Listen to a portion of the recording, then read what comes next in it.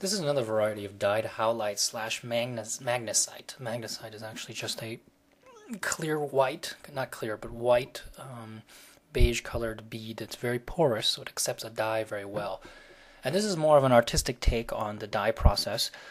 Um, the beads are dyed in a double dye, so it's kind of a, um, a turquoisey teal color as well as a purple and a dark blue. And depending on the length of time it stays or the temperature of the dye, you can actually get it to absorb at differing rates.